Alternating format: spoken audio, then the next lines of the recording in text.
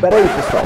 Nesse vídeo eu vou falar a verdade por trás né, desses vídeos que circulam de escleroterapia, de aplicação, de secagem dos vasos pela internet.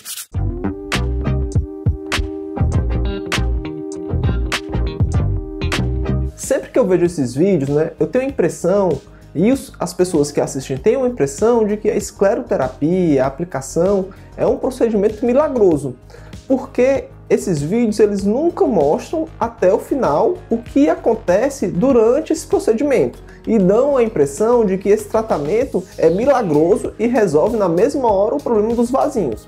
Nesse vídeo eu vou, eu vou te mostrar exatamente o que acontece depois e vou colocar também um vídeo mostrando o que, que acontece depois para que você consiga entender como funciona esse tratamento. Então quer dizer que esses vídeos são todos falsos? Não, não é bem assim. Eles só não mostram até o final o que acontece após um certo período. Porque assim, pessoal, a substância que é utilizada na escleroterapia, ela tende a ser transparente ou então branca quando usamos a espuma. E o sangue ele é vermelho, né? é o que dá a cor desses vasinhos, né? Aquela, essa cor mais vermelha. Então, quando a gente injeta uma substância transparente ou branca dentro dos vasos, ele vai expulsando o sangue que estava ali dentro e faz aquele vasinho ter um aspecto de que sumiu na pele, tá? E realmente isso acontece. Só que eles não mostram o que acontece após o sangue ser expulso daqueles vasinhos. E eu gravei um vídeo desse procedimento e vou mostrar aqui até o final, desde o começo do procedimento e o que acontece depois, onde a maioria dos vídeos param ou são editados e são cortados nessa fase. E você pode estar se perguntando, então quer dizer que a aplicação, a escleroterapia não é um método eficaz? Pelo contrário, ele é um método muito eficaz e ele pode trazer excelentes resultados quando realizado da forma correta e com a técnica correta, tá certo?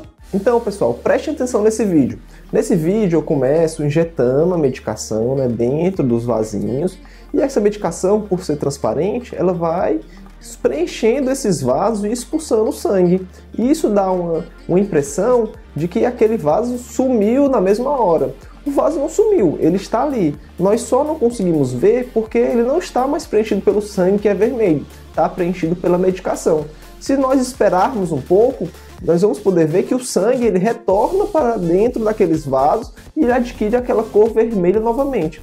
O, o tratamento com a escleroterapia, com a aplicação, ele não faz um efeito imediato, não é uma cura milagrosa. Esse tratamento vai gerar uma inflamação na parede daquele vaso e essa inflamação, dentro de algum tempo, é que vai levar ao desaparecimento daquele vasinho e daquela varize.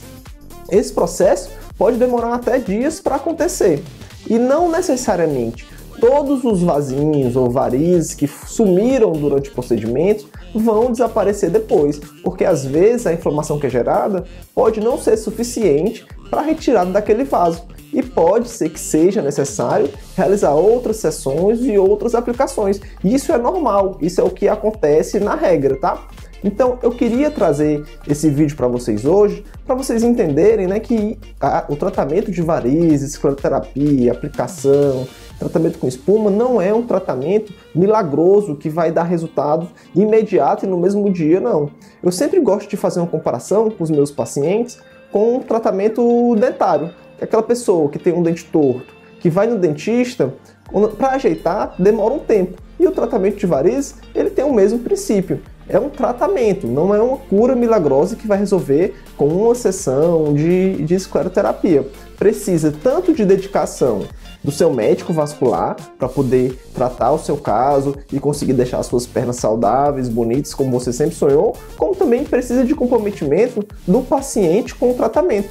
E para o paciente ser comprometido com o tratamento, ele precisa entender como ele funciona. Então esse foi meu objetivo com esse vídeo. Então, pessoal, para resumir, o tratamento com escleroterapia, com aplicação, ele é sim muito efetivo, pode dar resultados fantásticos, mas nós precisamos entender que não é uma cura milagrosa, é um tratamento que exige acompanhamento né, e um diagnóstico correto e comprometimento tanto do paciente como do médico com, com os resultados. Só assim que nós vamos conseguir extrair o máximo do potencial desse tratamento e vamos conseguir dar melhores resultados para os pacientes, né? Ter pernas saudáveis e ter pernas bonitas, tá bom? Se você ficou com alguma dúvida, se esse vídeo lhe ajudou, se você conseguiu entender um pouco mais, deixe nos comentários abaixo, vai ser um prazer responder, tá bom, pessoal? Um grande abraço!